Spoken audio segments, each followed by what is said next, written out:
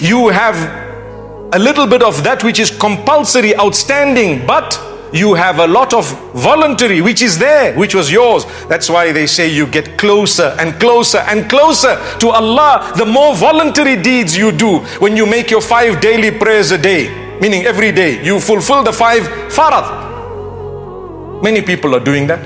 What makes you different? What makes you different is the quality. Number one. Number two, over and above the farad, that's from you. You know, zakah is charity. You're supposed to give, in most cases, two and a half percent of your savings. In most cases, okay? I'm sure you know how to work it out. But the real test is how much are you going to give more than that? The two and a half was always Allah's.